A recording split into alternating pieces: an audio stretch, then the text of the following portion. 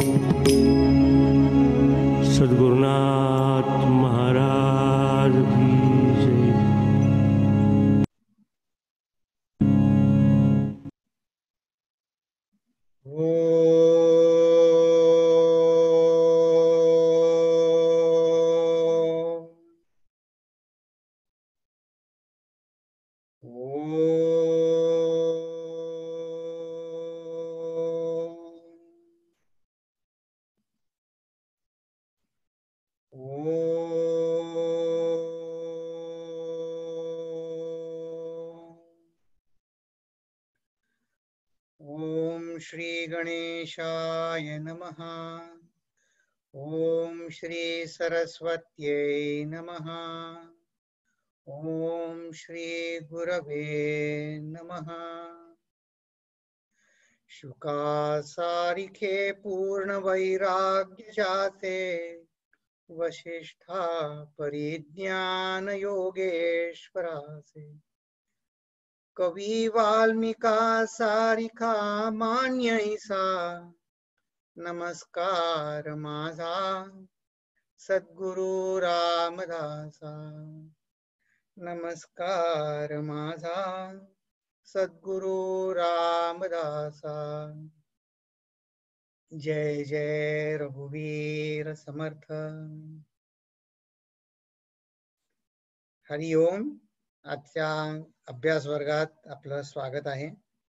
आजपासनं आपण तिसऱ्या दशकाला सुरुवात करणार आहोत. तिसऱ्या दशकाचा टायटल आहे स्वगुण परीक्षा. तर आपण एक थोडक्यामध्ये आतापर्यंत जे दोन दशक झाले वीस समास आपण बघितले त्याचा आपल्याला स्वामीजींनी तर सारांश सांगितलाच पण आपण एक आणखी थोड्या वेगळ्या तऱ्हेनं आपण हे स्वगुण परीक्षेच्या आता आतापासून जी सुरू होत आहे परीक्षा स्वगुण परीक्षा आपली आपली आंतर परीक्षा त्याची आता आपण थोडी वेगळ्या तऱ्हेनं आपण या दोन दशक जे आपण अभ्यासले आधी त्याच्या आधारे थोडी त्याची आपण आपण आपल्या दृष्टीनं तयारी करू. बघूया आता पहा. जगातील सामान्य मनुष्य हा सुखासाठी धडपडत असतो. हो ओके नाही? हा सुखासाठी धडपडत असतो. तर मग पण ते मला खात्रीने मिळाले असे म्हणणारा फारच वेळा विरळाच असतो एखादाच असतो याच्यामध्ये. हे असं का बरं होतं? हे असं होण्याला कारण काय? की आपण सगळेजण सुखासाठी धडपडत आहोत पण हे मला खात्रीने मिळालंय असं असं कसं काय? इतक्या जगामध्ये इतके प्रयत्न करणारे आहेत. तुम्ही आम्ही प्रयत्न करत आहोत पण मला ते मिळाले खात्रीने आणि ते राहील असंच. असं आपण म्हणू शकत नाही. तर संतांनी ह्या प्रश्नावर खूप विचार हम्म हे? आहे असं का? आणि ते तर म्हणतात बऱ्याच जणांच्या तर वाट्याला सुखापेक्षा दुःखच अधिक येते. पण आता विरोधाभास बघा आपण काय म्हणतो? की तांत्रिक टेक्निकल आघाडीवर मेडिकल वैद्यक किंवा सामाजिक सर्व आघाड्यांवर आम्ही प्रगती पथावर आहोत असं एकीकडे वाटतं तर खरं. पण आपण सुखापासून वंचित कसे काय बरं राहिलो? तर हे संत आपल्याला आवाहन करत आहेत की निदान आपण त्यासाठी आत्मपरीक्षणासाठी तरी आपण तयार झालं पाहिजे. मग चला आपण दासबोधामध्ये आतापर्यंत जे सांगितलं आहे ते त्याच्या आधारे त्रिगुण आपण बघितले सांख्यांच्या पद्धतीनं त्याची प्रकृतीची मांडणी बघितली तर त्या सत्व रज तमाच्या आधारे आपण आत्मपरीक्षण करूया. बघा रामदास स्वामी आपल्याला जणू काही विचारत आहेत सुख म्हणजे काय? सगळेजण त्याच्या पाठीमागे जर जात आहोत आपण सुख मिळवायच्या तर आपल्याला माहिती असायला पाहिजे किंवा माहिती आहे म्हणून तर आपण प्रयत्न करतो की नाही. जी गोष्ट माहीत नाही त्याच्यासाठी कसे काय प्रयत्न करणार? तर काही जण काय म्हणतात? हे आपण हा विषय पाहिलेला आहे. मी फक्त वेगळ्या अंगाने मांडतोय. की चैन देहाला आराम घर पैसे हे म्हणजे सुख. ठीक आहे. त्यात गैर काही नाही. काही जणांचं मत असंही नाही. विद्वत्ता अभ्यास करणं ग्रंथ वाचणं कला जोपासणं प्रवास करणं यात्रा करणं हे मी ह्याला सुख मान त्यांनी त्याचं वेगळं त्यांनी त्याची लाय लायकिंग वेगळं आहे जणू काही. किंवा कोणी म्हणतात रामदास स्वामींसारखे मी ईश्वर स्मरणात माझं आयुष्य घालवायला मिळालं की मग मी सुख मानतो. किंवा मी कोण माझं स्वरूप काय हे मी स्वतःला जाणतो. आणि त्या दृष्टीनं बघा ह्या पार्श्वभूमीवर आपली कुठली का पार्श्वभूमी असे ना देहाला चैनीची आरामाची असेल किंवा विद्वत्ता ग्रंथ प्रवासाची असेल कला जोपासण्याची आपली असेल किंवा ईश्वर स्मरण ह्या पार्श्वभूमीवर आपला लोकसंग्रह होत असतो. मग हे जे पहिले दोन आहेत ना त्याची एक विशेषता आहे की ह्या ह्या तऱ्हेनं सुख घेण्याच्या आपल्या प्रयत्नांना आपण कशासाठी हे प्रयत्न आपले कशा दृष्टीनं व्यक्त होतात हे प्रयत्न आपले ते वस्तू आणि व्यक्ती थिंग्स अँड बिईंग्स या दोनच तर वस्तू या जगामध्ये आहेत की नाही सांख्यांच्या विचारसरणीनुसार. तर त्या त्या या देश काळ निमित्त याच्यामध्ये मर्यादित आहेत. की जे जे काही आपण करू ते देश काळ आणि निमित्त याच्या नेहमी याच्या मर्यादेतच राहत. म्हणजे काय होतं? तर बघा की संतांच्या दृष्टीनं सांगितलं त्यांच्या याच्याप्रमाणे विचार करायचा. तर आपण आता देशाचं मर्यादित कसं? आता आपण कुठल्या देशात जन्माला यावं? आपल्या हातात आहे का? हे दर्शनशास्त्र आहेत ना षट दर्शन. त्याच्यामध्ये त्यांनी असा प्रश्न म्हणतात की ज्या कुठल्याही कार्याची सुरुवात आणि शेवट हे जर आपल्या हातात नसेल तर ते कार्य माझ्या हातात आहे असं म्हणणं म्हणजे वेड्यासारखं आहे. याची सुरुवात आपल्या हातात नाही आणि शेवट नाही. आपण कुठल्या देशात कुठल्या काळी जन्माला यावं आपल्या हातात नाही. आपला अंतकाळ कुठे येणार कधी येणार काय निमित्ताने येणार आपल्या हातात नाही. आणखीन तीन गोष्टी आपल्या हातात नाही. आपण कोणाच्या आई आई वडिलांच्या पदरी आपण जन्म घेणार ते आपल्या हातात नाही. त्या आई वडिलांच्या पोटी जन्म घेतल्यानंतर त्या काळी परिस्थिती कशी असेल ते आपल्या हातात नाही. आणि आपल्याला सुख दुःख किती मिळणार? आणि ते सुख मिळण्याचं किंवा दुःख मिळण्याचं निमित्त काय असेल? आपल्याला मुलाबाळांकडून सुख मिळणार? का आपल्याला समाजाकडनं सुख मिळणार? ते आपल्या हातात नाही. किती मिळणार ते तर नाहीच हातात. आता बघा आपण हाच प्रश्न हे देशकाल निमित्त आपण आपल्याकडे थोडा वेगळ्या तऱ्हेने बघू. आपण काय कर्तृत्व म्हणू शकतो की आपला जन्म ह्या निर्वासित छावणीत नाही झाला? ही बघा ही मुलं जन्मापासून त्या निराश्रित छावणीत आहेत. तिथेच ती लहानाची मोठी होतात.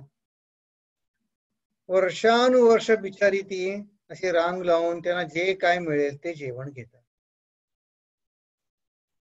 आपण काय आपण पूर्वपुण्य केलं आहे आपण पण त्याचा आपल्या हातात नाही की मी केलं हा मी ठरवून अशा ठिकाणी जन्माला आलो असं आपल्यापैकी कोणी म्हणू शकेल का? शक्यच नाही.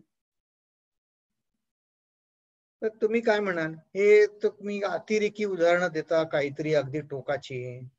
आम्ही आता काय सुशिक्षित मॉडर्न सोसायटीत राहतो.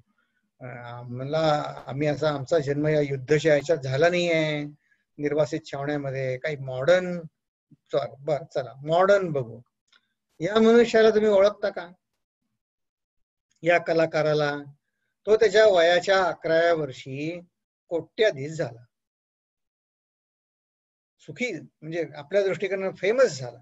लोकप्रिय झाला. आज तो कुठे आहे आणि कसा आहे? बघा त्यांनी त्याचा देश बदलून झाला त्याचं नाव बदलून झालं त्याचं गाव बदलून झालं त्याचं कार्यक्षेत्र बदलून झालं व्यसन करून झाली त्यासाठी जेलमध्ये जाऊन झालं सगळं करून झालं आज तो परदेशात आहे. आता बघा हा ह्याच काय याची कीर्ती याचं सुख कुठलं देश काल निमित्त या मर्यादेत तो बघा तो आता कसा आहे. मग आता ह्याला उपाय काय? तर असं काही आहे का की देश काळ निमित्त ह्याच्या पलीकडे असणारी कुठली वस्तू व्यक्ती आहे का? आणि ज्यासाठी आता रामदास्वामींनी हा दासबोध लिहिला. त्यांनी किती छाती ठोकपणे सांगितलं की ऐसे ते एकची राहिले जे रघुनाथ पंथी लागले. हम्म. मग रामदास स्वामी काय सांगत आहेत या दशकापासून ते सुरुवात करून ते म्हणतात अशी एक वस्तू काळ देश काळ निमित्तच्या पलीकडे आहे आणि ती वस्तू म्हणजे परमात्मा. हा हा किती छाती ठोकपणे सांगतायत. आणि व्यक्ती जर अशी कोणी असेल तर ती म्हणजे सद्गुरू. आणि या सद्गुरूंची खऱ्या अर्थाने गंभीर शिकवणुकीला या दशकापासून प्रारंभ होत आहे. हम्म? त्याचीही आपली प्रस्तावना पाया उभारणी चालू आहे. हम्म. आता बघा आता आणखीन एक स्टेप पुढे जाऊ. मग आता हे सद्गुरूंचं आपण दशक वाचायला दोन दशक झाले वीस समाज झाले. तुमच्यापैकी बऱ्याच जण म्हणले की श्रवण करताना सगळं समजतं पण नंतर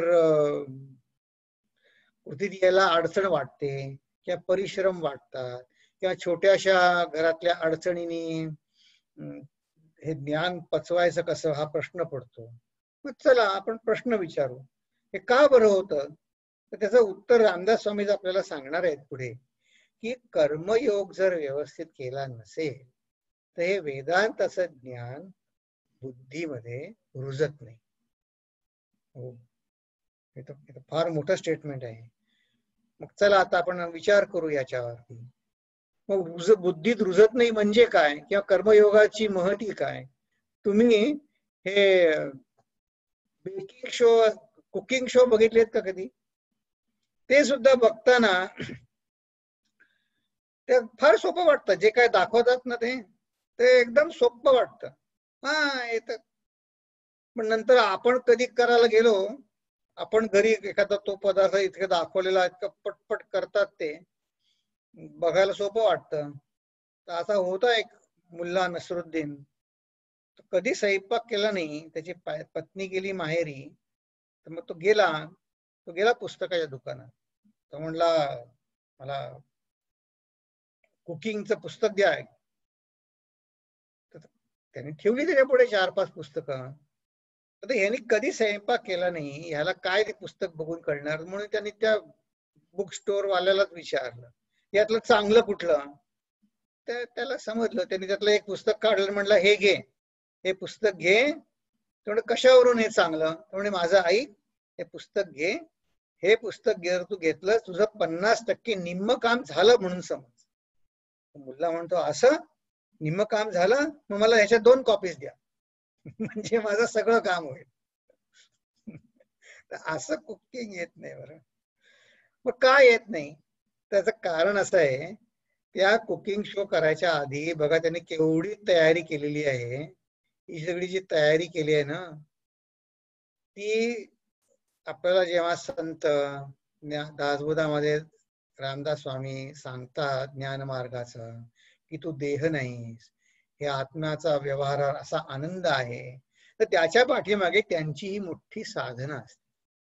ते आपल्या साधनेच्या बळावर आपल्याला त्यांच्या लेवलला आणतात प्रवचनामध्ये. तर आपण कुकिंग तर शिकायला पाहिजे पण हे समजलं पाहिजे की कर्मयोगाने ही आपण साधना जी आहेत हे सोपं का जातं? कुकिंग शो बघणं कारण ही सगळी तयारी करून ठेवलेली असते कोणीतरी. मला तर कुकिंग शो बघताना नेहमी वाटतं हे सगळं ह्यातलं एक एक चमचा मसाले वगैरे घालतात दोन चमचे मग नंतर हे सगळं उचलून कोण ठेवतं? जागच्या जागी. नंतर भांडे कोण धुत? तेच तर मोठं काम आहे. पण असा असा असा विचार करून मग कुकिंग शो बघायला मजा एन्जॉय नाही करतायत मग ते ठीक आहे. पण आपण काय शिकलो या उदाहरणावरनं?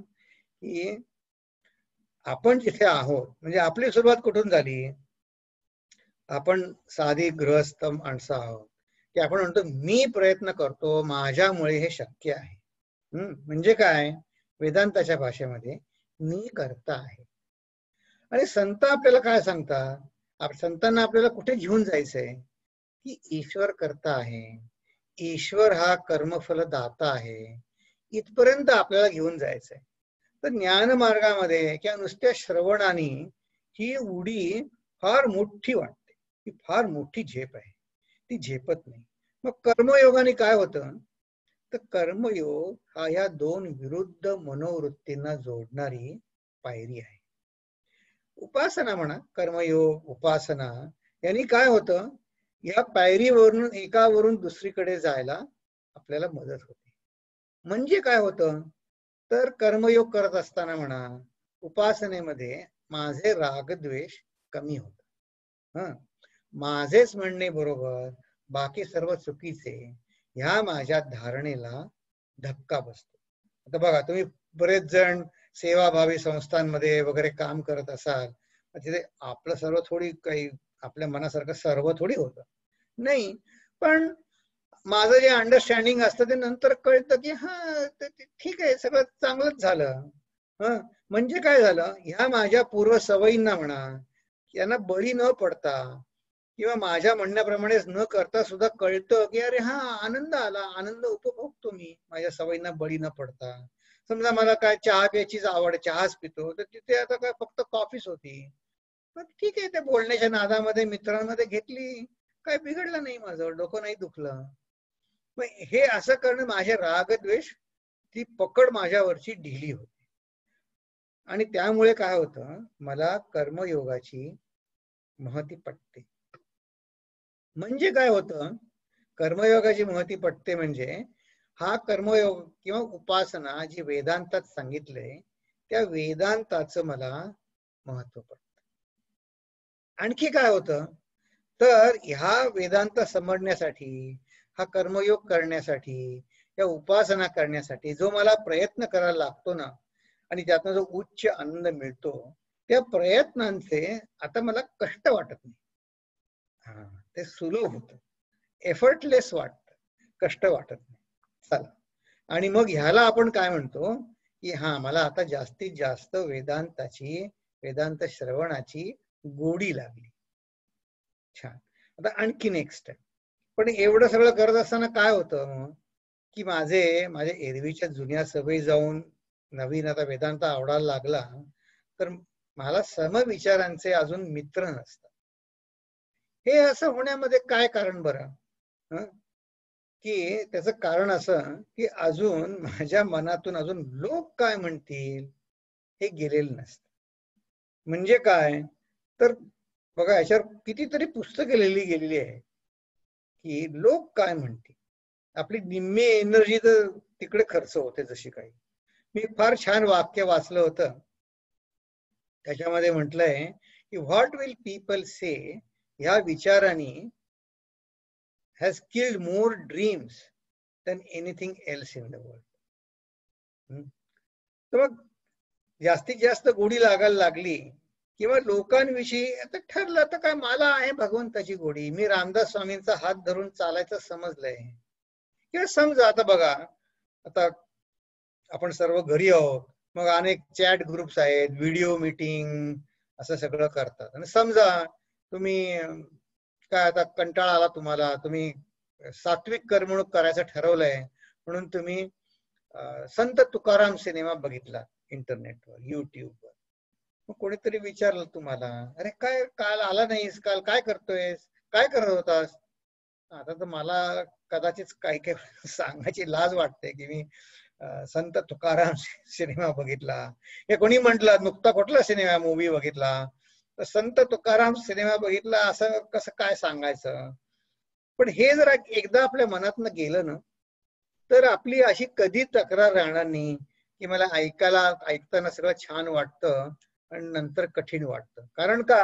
ह्या दशकापासून आता खरोखरच रामदास स्वामी आपल्याला आत्मपरीक्षण करण्यास मजबूर म्हणजे ते म्हणतात कर आत्मपरीक्षण. तर ही जी आपली परिस्थिती आहे ही जी स्थिती यायला की लोक काय म्हणेल ते म्हणू दे. मी माझं भगवंताचं मी रामदास स्वामींचं शिक्षण त्यांनी सांगतील तसं मी निदान शिकायचं तरी मनाने ठरवलंय. तर ही जी मनोवृत्ती आहे ना या मनो अशी मनोवृत्ती जर झाली तर आपल्याला सगळं सुलभ होणार. तर ह्या अर्थाचं एक सुंदर भजन आहे तेजमानंदांना ते खूप आवडतं.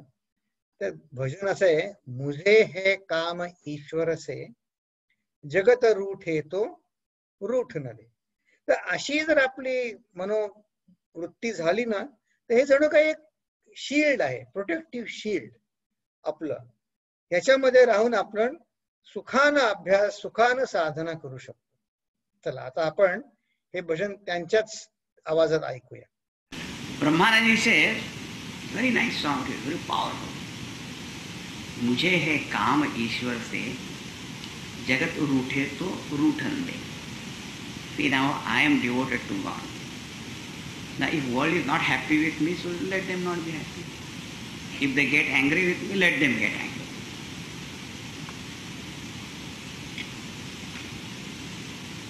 Mm-hmm.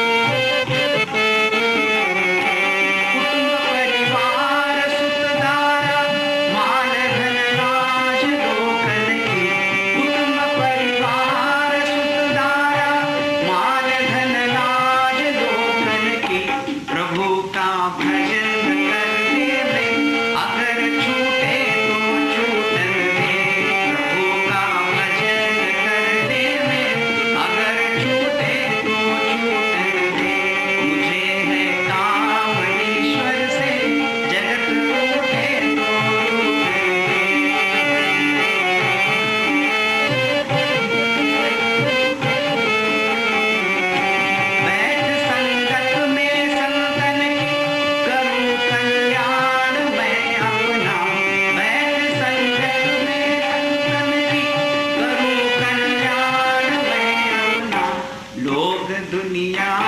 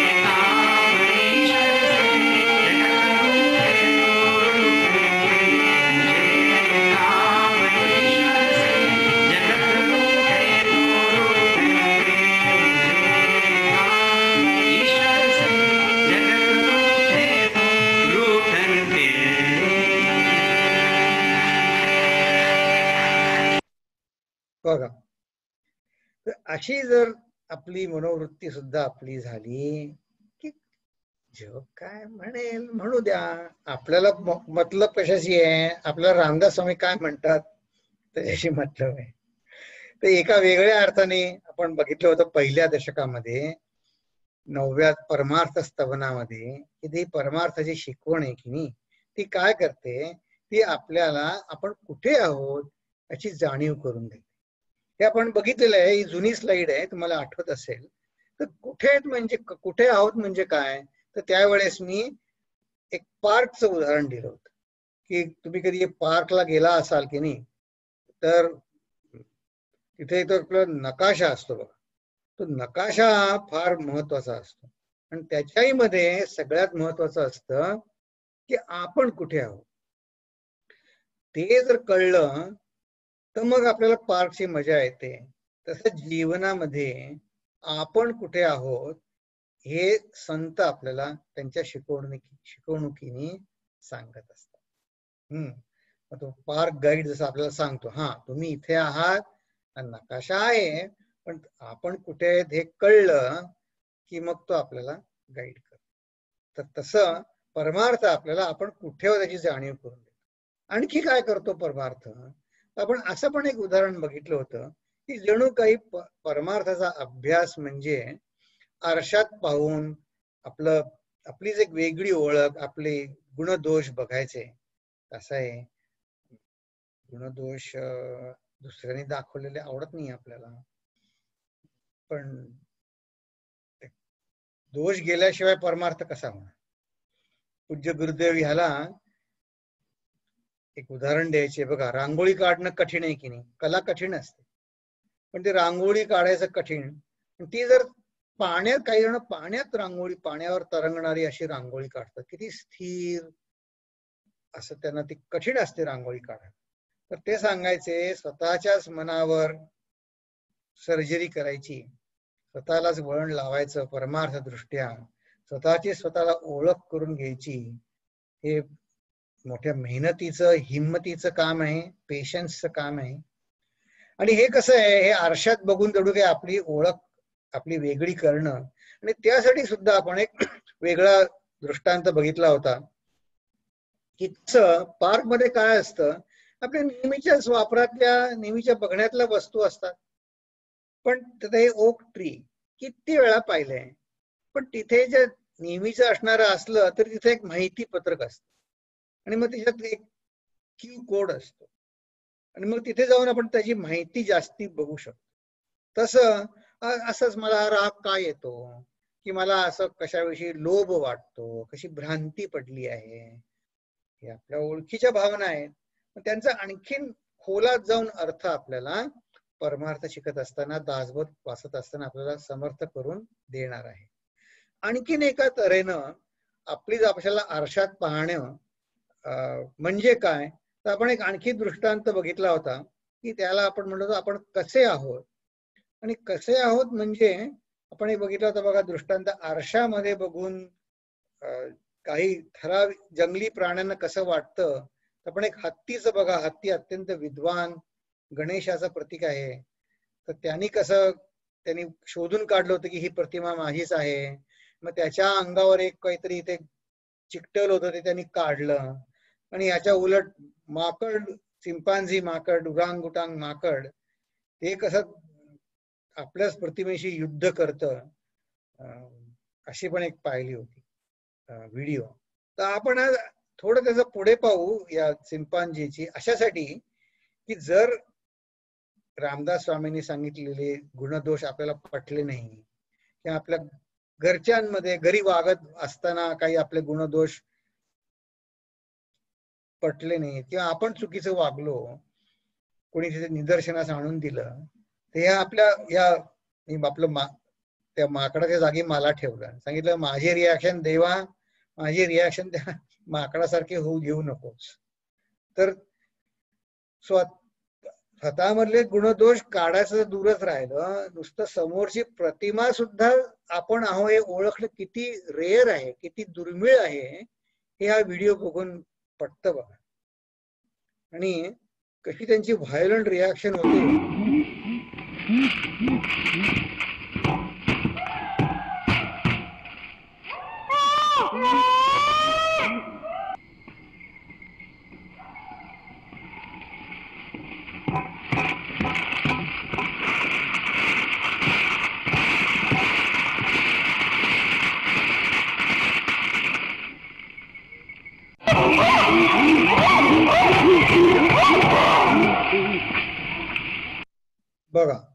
आता ह्या दृष्टीनं आपण आपली अशी मी माझ्या मनाला असं समजवायला पाहिजे की मला जर परमार्थाचं काही वागणं कठीण वाटत असेल तर माझी अवस्था या माकडापेक्षा वेगळी नाही.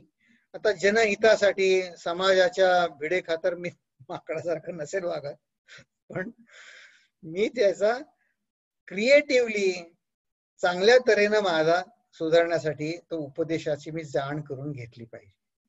तर चला ह्या दोन प्रश्नाविषयी आपण आणखी विचार करू. की कसं मग चला आपण या आज आता रामदास स्वामी जन्मचा समास आहे. तर तो समास आपण बघू. तर त्याच्या आधी असा विचार करू की मग जन्माला काय येतं? या दासबोधाच्या शिकवणीप्रमाणे जन्माला काय येतं? स्थूल शरीर येतं. हो ते तर दिसतं सगळ्यांना. म्हणजे ते सूक्ष्म शरीर सुद्धा आहेत. म्हणजे काय होत? तर सूक्ष्म म्हणजे छोट असं नाही. तर पंचेंद्रियांना जे आकलनच होत नाही त्याला वेदांतामध्ये सूक्ष्म असं म्हटलं की जे आपल्या फाईव्ह सेन्सेसनी दिसत नाही त्याला सूक्ष्म म्हटलंय. म्हणजे काय? आता मेंदू तो आपला स्थूल शरीराचा भाग आहे. तो दिसतो आपल्याला. पण बुद्धी दिसेल का? बुद्धी दिसत. ती बुद्धी परावर्तित होऊन वागणुकीत व्यक्त झाली की दिसते. मग आता विज्ञानाने प्रगती केली तर ब्रेन सर्जरी होऊ शकते. पण इंटेलिजंट इंटलेक्ट ची सर्जरी होईल का? किंवा आपल्या भावना आहेत आपण म्हणतो मी मी व्यक्तिमत्व इगो तर ते आपण हृदयाला हात लावतो. तर हार्ट सर्जरी तर होईल. पण आपल्या भावनांची सर्जरी संतच करू शकतात. आपल्या बुद्धीला आवाहन बुद्धी पालटवण्याचं काम चिन्मयानंदांसारखे संत करू शकतात. मग आता वेदांताचा हे कोणाला आहे? तर बघा आपलंच जर जीवन आपण बघितलं आपली रिलेशनशिप आपले संबंध तर बघा. तर समजा मी पती आहे. किंवा पत्नी आहे. मग काय आहे? त्या पती पत्नी कोणी असेल तेच को- त्यांना कोणीतरी माता पिता आहे. किंवा ते कोणाची तरी माता पिता आहेत त्यांना पुत्र आहे मुलगी आहे. आणि मग ह्याच आपण ह्यांचा एक संबंधांचं जाळं आपलं आहे.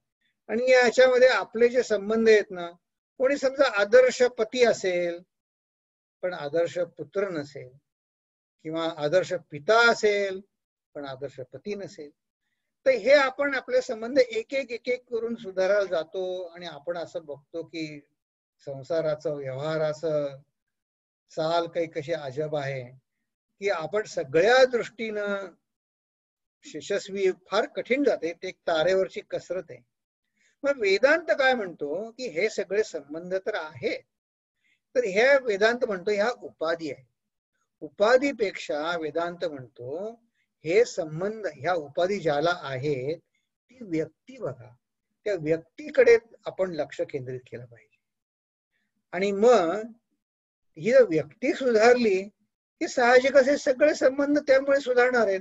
तर वेदांताची वेदांताचं जे अध्ययन आपण कर- करणार आहे त्याचा संबंध कोणाशी आहे? तर त्याचा संबंध व्यक्तीशी आहे. त्याचा संबंध बुद्धीशी आहे. त्याचा संबंध आपल्या भावनांशी आहे. तर ह्या दृष्टिकोनातनं वेदांताचा आपला उपदेश हा सूक्ष्म शरीराला आहे. हम्म. तर आता बघा. या समासाला सुरुवात करण्याआधी आता हे मनुष्य जन्माची कहाणी आपली रामदास स्वामी आज सांगणार आहेत. तर मनुष्य जन्माची तीन वैशिष्ट्ये आहेत. काय आहे? तर माणसाला मीपणाची जाणीव आहे. तसंच माणसाला काळाचं भान आहे. आणि तिसरं म्हणजे माणसाला भगवंताची जिज्ञासा आहे. ही तीन मनुष्याची वैशिष्ट्ये. मग या मीपणाची जाणीव आहे ना? त्याचं परिवर्तन किंवा त्याचं दृष्ट स्वरूप काय आहे? तर त्यामुळे त्याला प्रयत्न करण्याचं किंवा न करण्याचं स्वातंत्र्य आहे. बाकीचे सगळे जे प्राणी आहेत की नाही ते त्यांच्या देहबुद्धीप्रमाणे धर्माप्रमाणे ते करत असतात. त्यांना भूक लागली की ते प्रयत्न करतातच. किंवा त्यांना काही ते फक्त त्यांच्या शरीर धर्मानुसार करतात. पण आपल्याला प्रयत्न करायचा किंवा न करायचं स्वातंत्र्य आहे. आणि त्यामुळे आपण उच्च प्रगती करू शकतो. किंवा अधोगती सुद्धा आपली होते. बघितलं आपण त्या बाल कलाकार जो बघा त्याची प्रगती झाली अधोगती झाली सगळं दोन्ही झालं. हम्म. या काळाच्या भानाचं काय वैशिष्ट्य आहे? तर त्यांनी या काळाचं भान असल्यामुळे आपल्याला मृत्यूची जाणीव आहे. आणि त्यामुळे आपण त्या मृत्यूमध्ये स्थैर्य शोधतो. आपलं ज्ञान वाढवायचा प्रयत्न करतो. आणि भगवंताच्या जिज्ञासेपोटी आपण निस्वार्थी होतो. तर तुम्ही म्हणालो एनजीओ वाले समाज कार्य करते तर तसा निस्वार्थी वागणं रामदास स्वामींना अभिप्रेत नाही त्यांना अपेक्षित नाही. ते काय म्हणतात की तेथे अधिष्ठान पाहिजे भगवंताचे. भगवंताची जिज्ञासा असेल तर त्या निस्वार्थामुळे काय होतं? तो भगवंतावर प्रेम करायला शिकतो जगावर प्रेम करायला शिकतो. ह्या तीन वैशिष्ट्यांनी ध्यानात घेऊन आपण या समासाकडे बघू. हम्म. हा सगुण परीक्षेचा समा दशक आहे. त्याच्यामध्ये दहा समास असतात बघा अशी फोड आहे. की पहिला समास हा जन्म दुःख निरूपण आहे.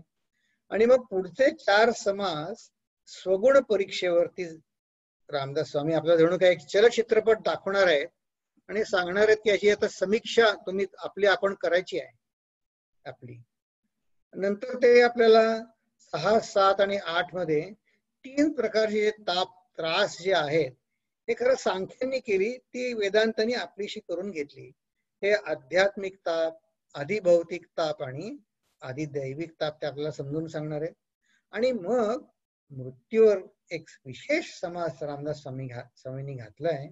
आणि मग बघा पुन्हा त्या मृत्यूच्या समासानंतर ह्या दशकाचा शेवट पुन्हा वैराग्य निरूपणाने होतो. म्हणून तो आत्ताच तर झाला वैराग्याचा समास आम्ही बघितला की.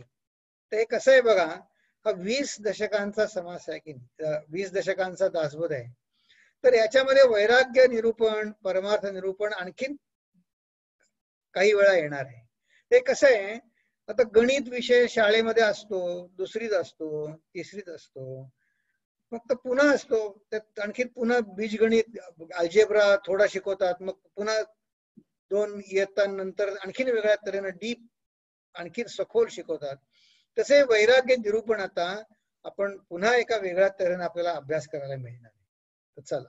या जन्म दुःख निरूपणात स्वामीजी काय म्हणतात बघूया. हा मोठा समास आहे. तर पहिल्या दहा ओव्यांमध्ये रामदास स्वामी म्हणतात आपण अव्यक्तामधून व्यक्तामध्ये खाली घसरत आलो आहोत. हो. म्हणजे काय करत आलो आहोत? तर ते सांगतात दहा ओव्यात सांगणार आहेत आणि मग ते या जन्मा शरीर जन्माची क्रिया आणि आपलं शरीर कशाने बनलंय त्याचा माल मसाला सांगणार आहे. आणि नंतरच्या वीस ओव्यांमध्ये आईच्या पोटात असताना जीवाची काय स्थिती होते? शरीराची तर होतेच पण मनाची स्थिती काय होते? ते फक्त संतच सांगू शकतात. आणि मग त्यातनं सुटण्याचा ते मार्ग सुद्धा आपल्याला सांगणार आहे. तर आता आपण आधी बघू ओवी समाज चालू करायच्या आधी अव्यक्तामधून व्यक्तामध्ये खाली घसरणं म्हणजे काय? तर रामदास स्वामींच्या मते वेदांताच्या सिद्धांता सिद्धांतानुसार आपली अव्यक्त अवस्था ही आपली खरी ही आपली स्वाभाविक स्थिती आहे. आणि देहधारण आपण जेव्हा करतो वेदांताच्या मते ते अव्यक्तातून व्यक्तात म्हणजे हे येणं व्यक्तामध्ये येणं हे खाली घसरणं आहे. म्हणजे काय? तर खाली घसरणे म्हणजे अपूर्णपणाच्या अडचणी सोसणे. म्हणजेच वेगळ्या शब्दामध्ये दृश्याच्या ताब्यात जाण किंवा आणखीन सोप्या शब्दामध्ये असमाधानी बनणं. म्हणजे खाली घसरणं आहे. तर बघा जो समाधानी आहे त्याची ती स्वाभाविक स्थिती आनंदात आहे. मग तो असमाधानी बनला म्हणजे खाली घसरला की नाही?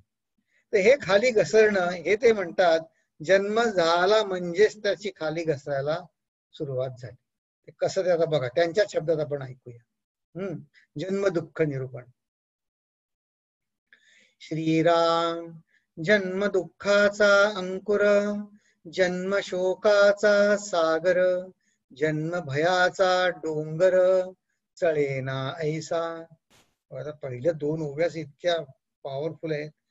जन्म कुविद्येचे फळ जन्म लोभाचे कमळ जन्म भ्रांतीचे पडळ ज्ञानहीन. बापरे. तर बघा आपण या दोन शब्दांवर जरा विकार विचार करू. अंकुर आता बघा आता आपण जे मोठं किती शंभर वर्षाचं आयुष्य दिलंय त्याची सुरुवात मोठा वटवृक्ष आहे. तर इतकुशा त्या वटवृक्षाचं बीज किती छोट असतं. तर जन्माला आला म्हणजे ते झालं त्याचं इनॉग्रेशन झालं. सगळी बाळ रडत जन्माला येतात. हसत जन्माला आल्याचं कोणी ऐकलं नाही. तर ते रडला म्हणजे काय? तर त्याच्या आता त्याच्या पुढच्या आयुष्यामधल्या दुःखांचं आता इनॉग्रेशन झालं.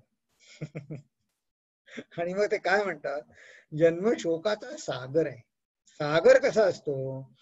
सागरामध्ये किती नद्या पाणी ओततात ओततात पण तो उतू जात नाही बरं. तर सागर अथांग आहे. तसं ते संतांच्या मते जन्मामध्ये जन्म हा शोकाचा सागर आहे. आणि तो ते शोक जाणार नाही तो भयाचा डोंगर चढेना आहे मग त्यांनी पुढच्या याच्यात जे शब्द वापरले ना ते कुविद्या लोभ भ्रांती आणि ज्ञानही ह्या शब्दांवर जर आपण विचार करू. काय आहे?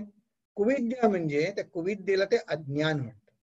मग अज्ञान म्हणजे काय? आपण गेल्या दोन आठवड्यापूर्वी बघितलं की ते कव्हरिंग आलं आणि त्यामुळे जे बाहेरच्या जगाचा लोभ वाटला प्रक्षेपण आपण बघितलं प्रोजेक्शन आणि ते प्रोजेक्शन आहे ते खोटच आहे. ते मिळेल का नाही त्याची काळजी वाटते. त्याला म्हणले भ्रांती.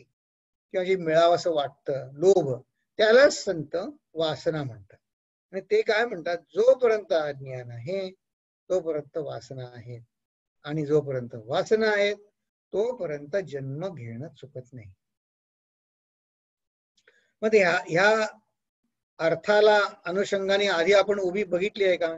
बघा बघितली वा त्यांनी दुसऱ्या अध्यायामध्ये दशकामध्ये आठव्या आठव्या समासाधी ओवी आहे. त्यांनी योगीच म्हणजे ही आता आपण साधक आहोत. आपण सिद्ध बनण्याकडे आपण वाटचाल करत आहोत. तर योगीच कसं म्हणले तो वासना तृप्त सखोल योगी. या सगळ्या वासना तृप्त झाल्या.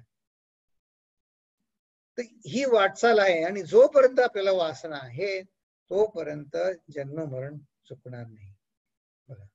जन्म सुखाचा विसर जन्म चिंतेचा आगर जन्म वासना विस्तार विस्तारिला. मग पुढे म्हणतात जन्म विषयांची आवडी जन्म दुराशेची बेडी म्हणतात त्याला. ते विषयचा शब्द विषय म्हणजे त्याचा असा अर्थ आहे सभोवताली ज्या सगळ्या वस्तू दिसतात आपल्याला आकर्षण वाटतं.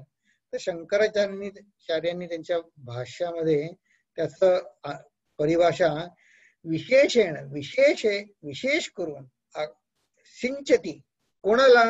इंद्रिय आणि मनहा च. च म्हणजे बुद्धी अहंकार आणखी त्याच्या बरोबर सगळं सूक्ष्म शरीर जे म्हंटल की तिथे आपली इंद्रियांना आणि मनाला ते हे विषय सगळे अगदी जसं त्या आमटी लोणच्यामध्ये मूर्त की नाही सगळी फोड मुरतो तसं सगळे आपलं मन इंद्रिय अहंकार वासना सगळ्या वासनेमध्ये चिंब भिजलेले आहे. त्याची आपल्याला आवड आहे. आणि त्यामुळे ती आपल्याला ती दुराशेची बेडी आहे. ती आपण आपल्याला असं वाटतंय माझ्या आशा कधी ना कधीतरी पूर्ण होतील आणि म्हणून ते म्हणतात म्हणून तुम्ही जन्माला आला. आता शरीर जन्माची पुढच्या दहा ओव्यांमध्ये पंधरा ओव्यांमध्ये ते म्हणतात बघा कसं म्हणतात. अस्थि पंजर उभविला शिरा नाडी गुंडाळीला मेदमांसे सरसाविला सांदो सांदी भरुणी अगदी त्याचं कसं यथार्थ वर्णन आपल्यासमोर उभं करतात.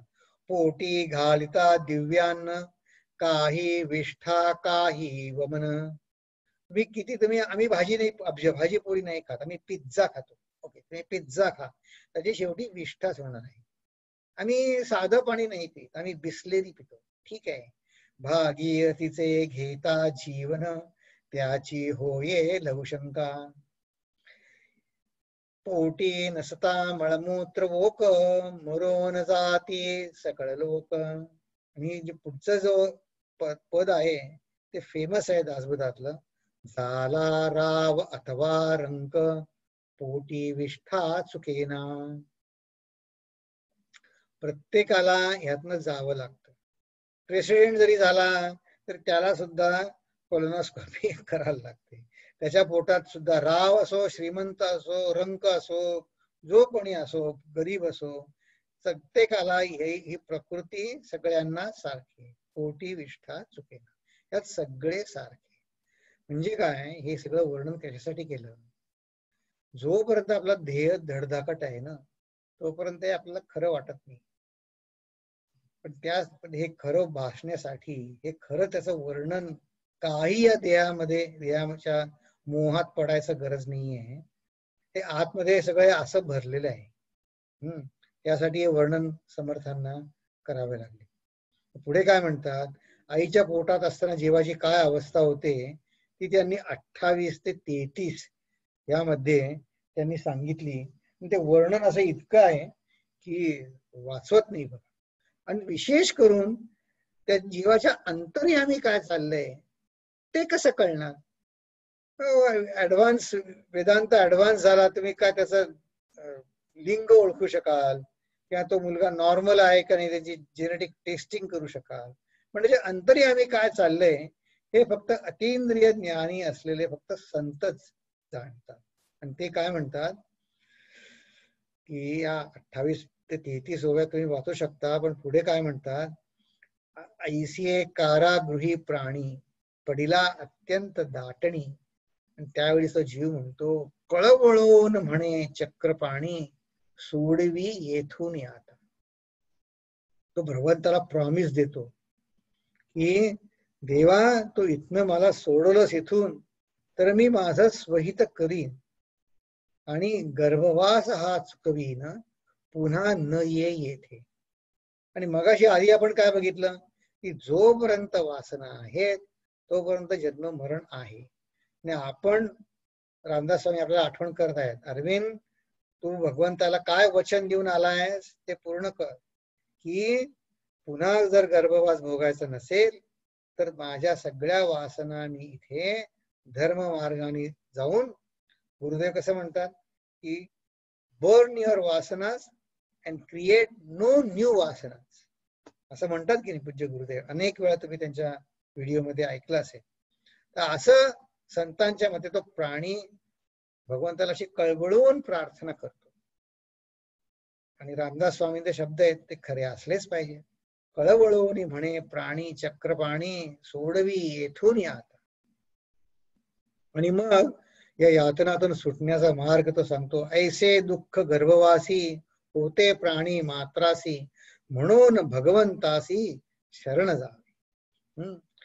की यातनं सुटण्याचा मार्ग एकच आहे भगवंताशी शरण जावे. आणि म्हणतात जो भगवंताचा भक्त तो जन्मापासून मुक्त ज्ञान बळे विरक्त सर्व काळ.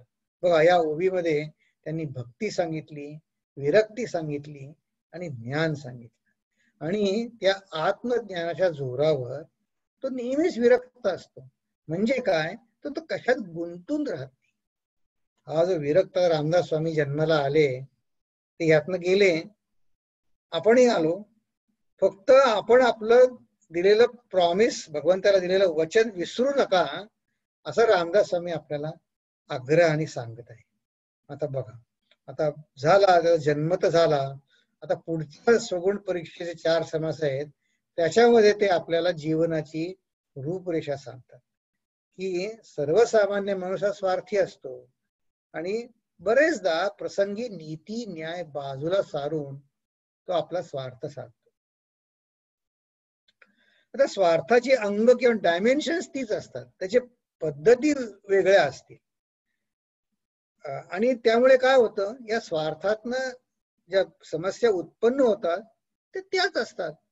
त्याच वैज्ञानाच्या प्रगतीच्या आधारावर त्यांचे स्वार्थ साधण्याचे मार्ग वेगळे वेगळे असतात. आता बघा त्यावेळच्या लोकांनी द्वेषा खातर म्हणा किंवा कशा खातर तुकाराम महाराजांचे अभंग पाण्यात बुडवले. आता आम्ही म्हणत आमचं सगळं हार्ड डिस्कवर आहे. आम्ही बुडवा पाण्यामध्ये. हो मग ते आता काय करतील? आता तुमचा हार्ड ड्राईव्ह तुमच्या याच्यावर ते व्हायरस घेतील. मला ब्लॅकमेल करतील सांगतील आम्हाला एवढे पैसे द्या. किंवा ज्ञानेश्वर महाराजांच्या काळी त्यावेळेच्या समाजाच्या नुसार त्यांनी त्यांच्या मुलांना सांगितलं की तुमच्या मुलांच्या मुंजी होणार नाही. आता आजकाल अमेरिकेत कोणाला सांगितलं मुंजी होणार नाही होणार ना तर नाही झाली तर आम्हाला नाही नाहीतरी करायचीच नाही पण ते म्हणतात नाही मग तुम्हाला आम्ही कुठल्या कॉलेजमध्ये ऍडमिशन देणार नाही. हा. ते हे त्या वेळ त्या त्या परिस्थिती समाजानुसार बदलेल पण त्या स्वार्थाची अंग तीच असतात मग आता बघा. दुसऱ्या समासात आपली सुरुवात आता जन्मत झाला मग आता सुरुवात कशी झाली? त्याचं वर्णन या आपण मोठेपणी हा बालक मोठा होईपर्यंत या समासात ते आपल्याला नेणार आहेत. तर जीवनाची रूपरेषा या बालकापासून झाली. कसं म्हणतात? बाळपणी त्वचा कोवळी दुःख होताची तळमळी वाचा नाही तये काळी सुख दुःख सांगावया. ते इतकं छोटं बाळ असतं. त्याला काय वाचा नसते.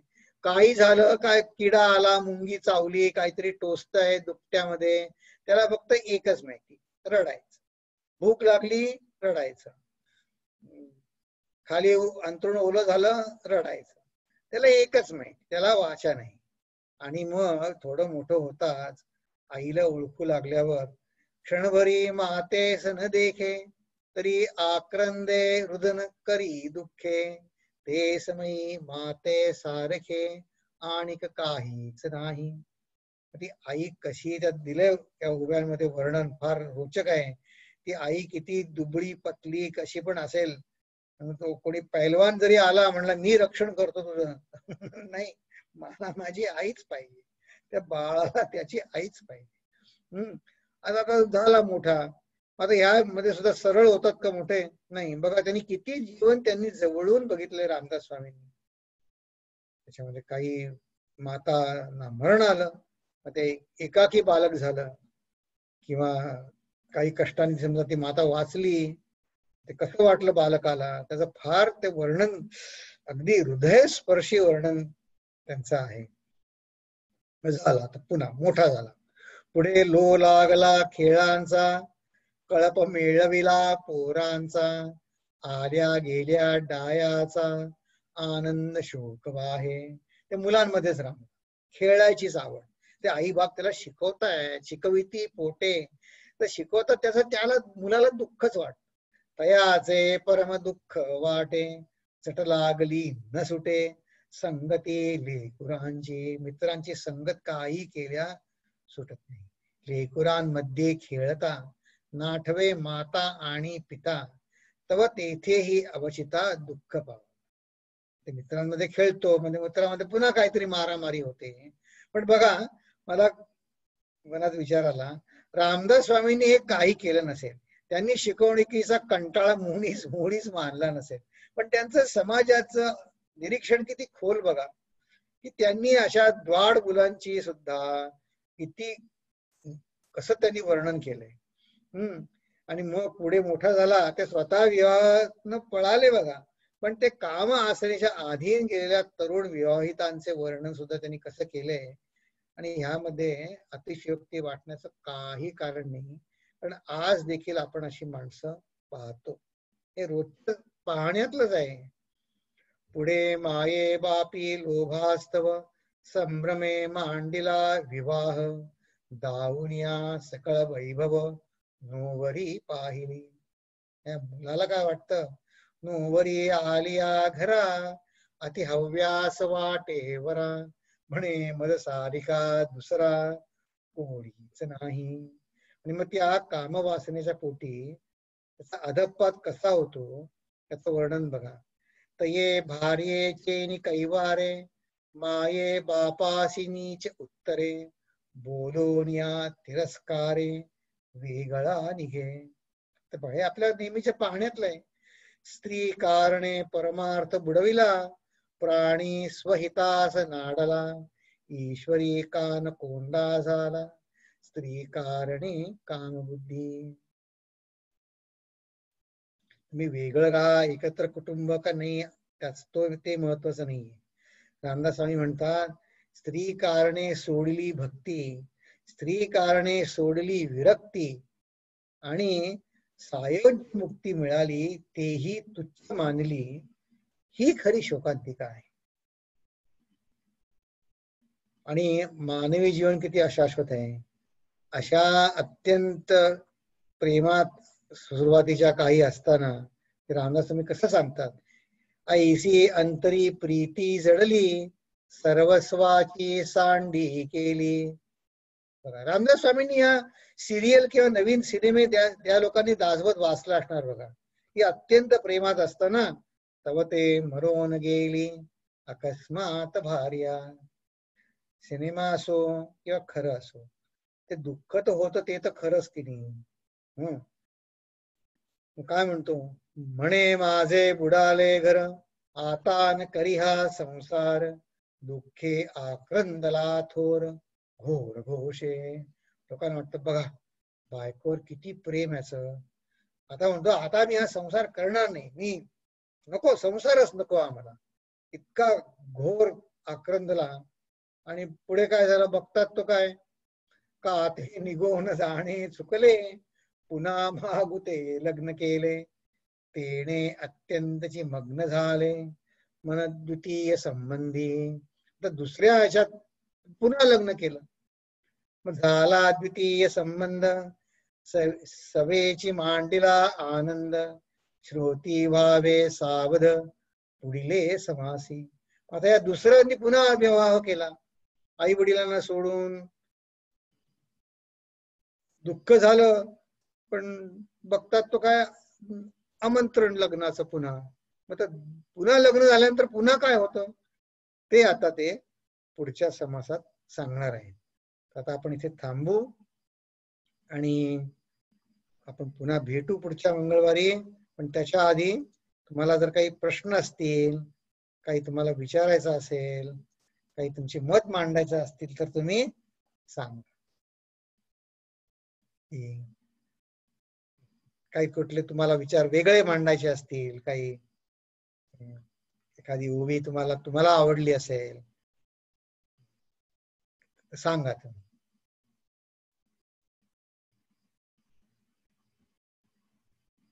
तुम्हाला मी तुम्ही हात वर करा तुम्हाला मी अनम्यूट करतो.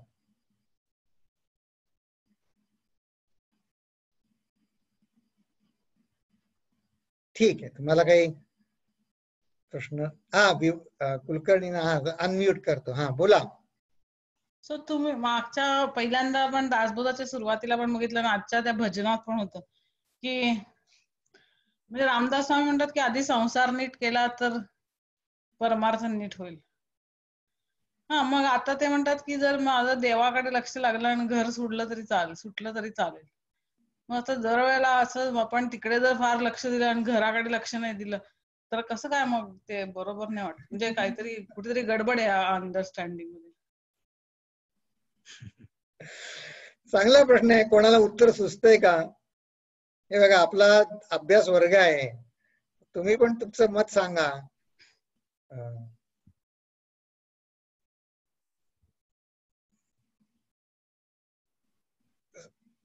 संसाराकडे दुर्लक्ष करायला नाही सांगितलं. संसाराकडे कर्तव्य पार करू नये असं कुठे सांगितलं? त्यांनी काय सांगितलं?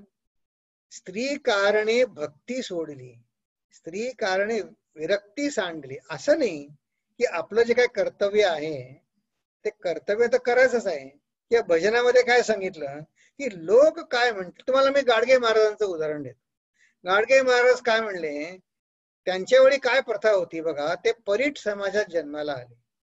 त्यांच्या वेळी त्यांच्या त्या समाजामध्ये अशी स्थिती होती की घरी कर्ज जरी झालं तरी तुम्ही त्याचं बालकाचं बारसं केलं पाहिजे आणि बारसं म्हणजे त्याच्यात मध्ये बकरी कापली पाहिजे आणि सगळ्या गावाला दारू दिली पाहिजे. तुम्ही वाचा त्यांचं चरित्र. फार त्याच्यावर त्यांनी अतिशय विरोध केला. कारण का? तर त्यांना त्यांच्या वडिलां वडील त्यांचे दारू पिऊन ते गेले त्यांचं घर त्यांना सावकाराकडे त्यांना गहाण टाकायला लागलं आणि ते देशोधडीस लागले. त्यांनी ते शहाणे झाले बघा.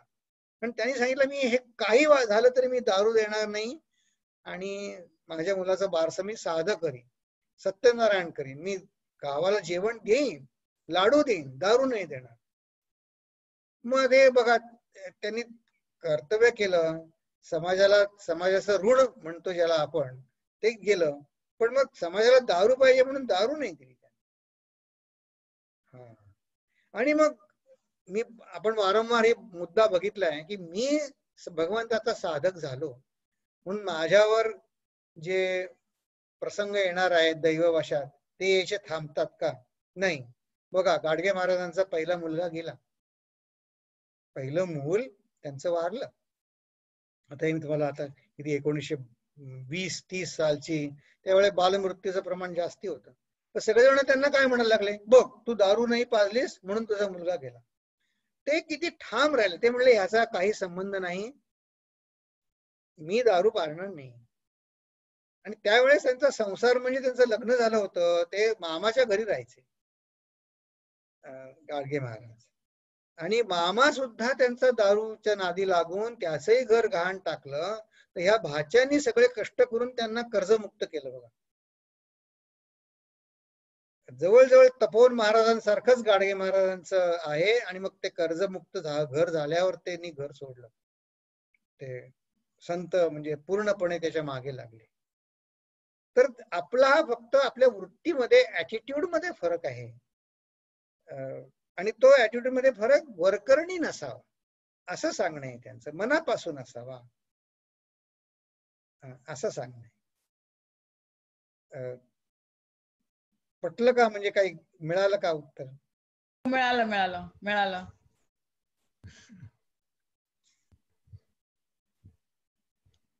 आणखीन एक एक मिनिट आहे. अशाच प्रश्नाला एक दुसऱ्या तऱ्हेने उत्तर सांगतो की आपली भूमिका काय असावी रामदास स्वामी सांगतायत? आणि स्वामी तेजमानंद सुद्धा वारंवार सांगतात God doesn't look at your ability he looks at your availability hmm. आपण प्रामाणिक असणं भगवंताशी हे अपेक्षित आहे. मग त्याच्यामध्ये समजा मला काही चैन वगैरे करायची आहे समजा तर ती प्रामाणिकपणे सांगायला पाहिजे देवापाशी किंवा गुरुपाशी किंवा आईपाशी. त्याचं एक तुम्हाला एक उत्तर सुंदर उदाहरण सांगतो की आपण जर आपलं जीवन आपलं व्यक्तिमत्व आपण भगवंताच्या हवाली केलं हवाली केलं म्हणजे कसं? प्रामाणिकपणे कसं प्रयत्न केला तर आपली बुद्धी पालटण्याचं काम सुद्धा भगवंत करतो. तर एक तुम्हाला मी सत्य घटना सांगतो. हे मी उदाहरण यांच्याशी या व्यक्तींकडनं त्यांनी मला स्वतः सांगितलं. बघा त्यांचं हे भारतामध्ये ते छत्तीस साली ते इंजिनियर झाले. त्यांचा त्यावेळेस इंजिनिअरिंगचा कारखाना होता पुण्यामध्ये. आणि त्यावेळेस त्यांचा एक्सपोर्ट करत असत. फार शिकलेले त्यांचं मोठा त्यांचं घरा उद्योगशील त्यांचं कुटुंब होतं. आणि त्यांची आई काही त्यावेळेच्या प्रथेनुसार ती गृहिणी होती त्यांची आई. आणि तर त्यांना त्यांनी चव्वेचाळीस साली बघा अजून भारत पारतंत्र्यात होता त्यांनी त्यांना पुढच्या शिक पुढच्या कारखान्याच्या शिक्षणासाठी कोलॅबरेशनसाठी त्यांनी इंग्लंडला ते गेले चव्वेचाळीस साली. ब्रिटिश पासपोर्ट काढून.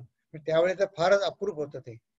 अं, मग जायच्या वेळी आईला भेटायला नमस्कार करायला गेले तर आईला आई त्यांना काय म्हणली? त्यांच्या मुलाला मुलाला की बाळ तू आता इंग्लंडला जातोयस पण मला तू तीन वचन दे. तीन. काय? की म्हणले असं मला वचन दे की तू कधी दारू पिणार नाहीस. तू सिगरेट ओढणार नाहीस. आणि तू मांसाहार करणार नाहीस असं मला वचन दे. आता बघा आम्ही प्रामाणिकपणाचं आणि अवेलेबल असण्याचं उदाहरण सांगतोय. तर ते काय म्हणले आई मी तुला खरं सांगू का? मी हे तीन गोष्टी करायला चाललोय. लंडनला. मला तेच आकर्षण आहे. ती आई पण थोर कशी बघा. हे त्यांच्याकडनं मी स्वतः ऐकलेलं आहे बरं. अत्यंत थोर मनुष्य होता तो. संसारी आपल्यासारखा पण ऐकण्यासारखं आहे पुढे. त्यांची आई किती थोर बघा तिने ती काय म्हणली त्याला? त्यांना की तू कर पण मर्यादात राह मर्यादेत राहून कर. आणि मी तू माझा मुलगा आहेस असं सांगण्याची मला लाज वाटणार नाही असं तू वर्तन ठेव असं ती त्याला म्हणली. बर आता आला आले लंडनला आहे त्यावेळच्या याच्यानुसार आधी ते छोट्या फ्लाईट असतात हॉपिंग फ्लाईट कैरो कैरोन इटली मग रोम मग लंडन असं ती फ्लाईट आली त्यांची. मग त्या तो मनुष्य ते घ्यायला आला एअरपोर्टला. त्यांना तिथला कोलॅबरेटर ब्रिटिश मनुष्य आला घ्यायला. मग ते आले तिथे ते म्हणले ते इमिग्रेशनमध्ये आधीच मी तिथे कुठली लंडनची कुठली डन हिल सिगरेट विकत घेतली. आणि गेलो त्यांना घेऊन तो गेला हॉटेलमध्ये रेस्टॉरंटमध्ये. तर काढली सिगरेट त्याला दिली तर तो म्हणतो मी सिगरेट पित नाही. ठीक आहे म्हणे नसेल सिगरेट नसेल तर नसेल पीत. मग का काय ऑर्डर करायचं? मग यांना ऑर्डर करायला काहीतरी यांनी केलं ऑर्डर काही त्यांचं केलं असेल विस्की वगैरे पेय ऑर्डर तुला काय त्याला काय पाहिजे त्या पाहुण्याला त्या- त्यानं घ्यायला? तो म्हणला मी दारू पित नाही. मग ऑर्डर करायचं असं त्यांनी काय ऑर्डर केलं तो म्हणतो मी व्हेजिटेरियन आहे. ते सांगत त्या क्षणी माझ्या हातातला ग्लास गळून पडला. आता बघा. त्यांनी काय केलं? प्रामाणिकपणे प्रामाणिक होते. आणि भगवंतानी त्या आई भक्त होती की नाही त्यांची? आईच प्रार्थनेची शक्ती पहा कशी त्याचा चव्वेचाळीस साली त्यांचा लंडन मधला कोलॅबोरेटर दारू पित नव्हता सिगरेट पित नव्हता आणि तो व्हेजिटेरियन होता. आता तुम्ही व्हेजिटेरियन असा का नसा? तुम्ही काय खा प्या त्याचा संबंध नाही मला आहे फक्त संबंध तुमच्या प्रामाणिकपणाशी आणि आपण जर भगवंताला शरण गेलो तर भगवंत आपली बुद्धी पालटायचं काम करतो भगवंत आपल्याला सन्मार्गाला ठेवतो आणि त्या मातेचे आशीर्वाद फुकट जात नाही. हे मी हा मी धडा त्यातनं शिकलो. तर प्रपंच आड येत नाही परमार्थाच्या. आपण जर भगवंताशी प्रामाणिक राहिलो तर. ठीक आहे तर तुम्हाला काही प्रश्न नसतील तर मग मी प्रार्थना म्हणतो. आपण थांबू. ओम पूर्णमद पूर्णमिदम पूर्णात पूर्णमुदच्यते पूर्णस्य पूर्णमादाय पूर्णमेवावशिष्यते। ओम शांति शांति शांतिः हरिः ओम श्री गुरुभ्यो नमः। हरिः ओम भेटू आपण पुढच्या मंगळवारी। हरि ओम। हरि ओम। हरि ओम।